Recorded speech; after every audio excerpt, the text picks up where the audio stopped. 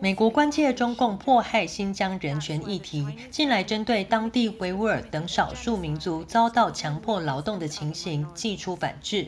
拜登政府最近下令禁止进口来自中国涉及强迫劳动的太阳能板材料，共五家中国能源和材料相关企业遭列黑名单。美国说明对中制裁行动是展现 G7 公报中的共识，力图消弭全球供应链中强迫劳动的情况。中国则回应新疆强迫劳动是一场骗局，并指控美方的行径不仅违反国际贸易原则，更打压了新疆的发展。中方将采取一切必要措施，坚决维护中国企业的合法权益。